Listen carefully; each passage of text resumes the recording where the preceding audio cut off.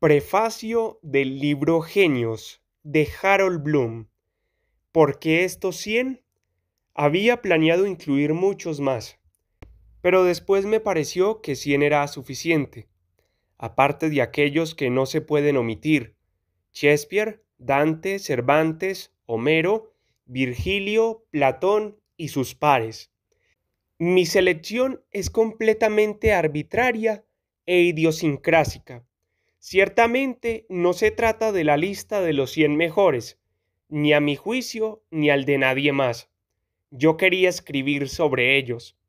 Dado que mi pericia solo cubre el ámbito de la crítica literaria y, hasta cierto punto, de la religiosa, no hay nada en este libro sobre Einstein, Delacroix, Morsad o Louis Armstrong.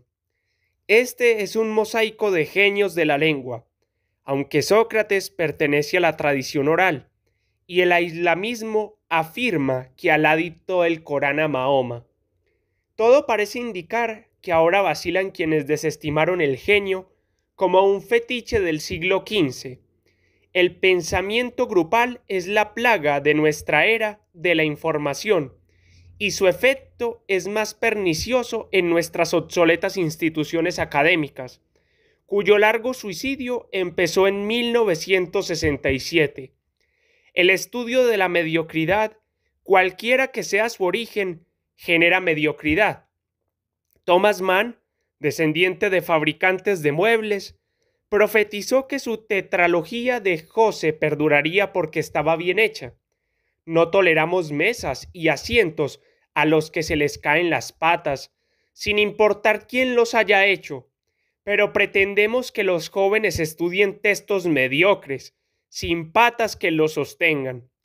Este libro difiere de mi trabajo anterior, en que solo busco definir, de la mejor manera posible, el genio particular de mis 100 personajes. He mezclado la crítica literaria y la biográfica, pero he eludido prácticamente del todo la perspectiva histórica. Nadie se opone a contextualizar o a darle un trasfondo a una obra. Pero no me interesa disminuir la literatura, o la espiritualidad, o las ideas, con la excesiva determinación histriosista. Las mismas fuerzas sociales, económicas y culturales producen simultáneamente obras inmortales y obras que no trascienden su propia época.